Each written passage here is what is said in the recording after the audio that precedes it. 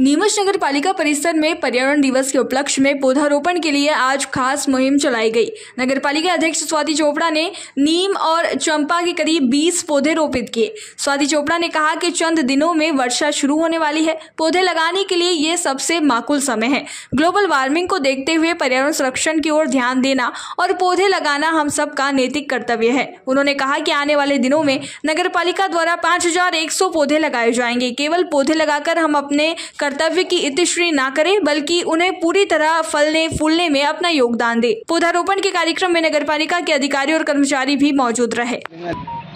जी madam अभी नगर पालिका परिसर में पौधारोपण का कार्यक्रम किया जा रहा है।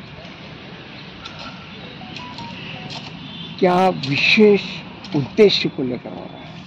देखिए मुझे लगता है कि जो अभी हमने जल संकट को देखा है जो हमें लगता है कि पूरे एक वर्ल्ड में और खासकर हमारे अभी मध्य प्रदेश में भी और नीमच में जो जल संकट है और हमें ये पता है कि पर्यावरण का जो महत्व है और जो एक ये पूरी साइकिल चलती है कि जब हम ग्रीनरी प्लांटेशन पे ज़ोर देते हैं तो बारिश भी अच्छी होती है। ये एक पूरा साइंटिफिक प्रोसीजर है और पर्यावरण को ध्यान में रखते हुए और पूरा नगर पालिका से ही आज हमने शुरुआत की है। हम चाहते हैं कि ये जो समय है, ये उपयुक्त है पौधे लगाने के लिए बारिश आने वाली है और अभी जो पौधे लगाए जाएँगे आने वाले पंद्रह बीस दिनों में, वो जल्दी पकड़ करते हैं और वो चल पाते हैं। और नीमच के लिए ये बहुत आवश्यक है कि हम लगातार जो है प्लांटेशन करते रहें। हमारे पर्यावरण के लिए बहुत आवश्यक है, शहर के लिए बहुत आवश्यक है, हमारे ऑक्सीजन लेवल्स के लिए बहुत आवश्यक है। प्रदूषण से जो हमें एक लड़ाई हमारी है, उसके लिए आवश्यक है। ग्लोबल वार्मिंग से लड़ने के लिए बहुत आवश्यक है। तो ऐसी बहुत सारी चीज़ें हैं जो मुझे लगता है कि जीवन में जो प्राथमिकताएँ हैं वो हमें तय करनी है कि जीवन का जो मूल स्वरूप है, वो ये हवा पानी से ही हम ज़िंदा हैं।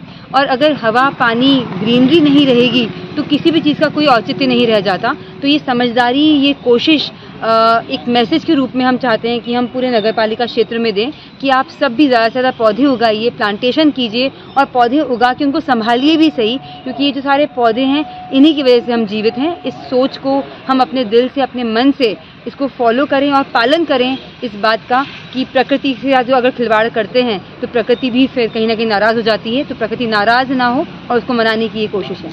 कितने पौधे आज लगाए गए हैं? देखिए आज हमने यहाँ पर शुरुआत की क्योंकि ये जो हमने लगाए हैं वो बड़ी कैनोपी वाले पौधे हैं। हमने यहाँ पर नीम लगाया है चंपा लगाया है।